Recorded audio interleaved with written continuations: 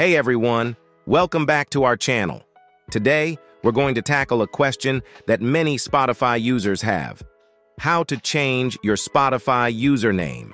Changing your Spotify username isn't as straightforward as changing your profile picture or bio.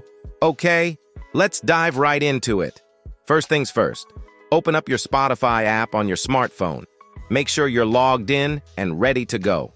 Now click on your profile icon in the top left corner, and from the drop-down menu, tap on View Profile. Now, here's the catch. You can't directly change your Spotify username like you would on other platforms. However, you can change your display name, which is what others see when they view your profile.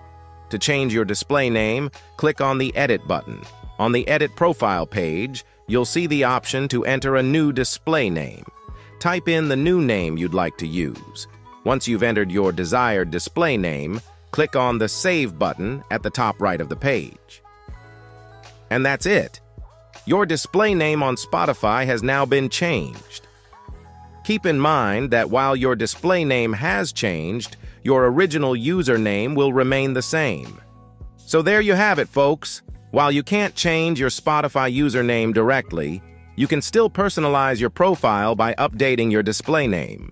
If you find this videos useful, please show your support with a like. Your feedback is invaluable to us, so feel free to share your thoughts and suggestions in the comments section below. We're eager to hear from you.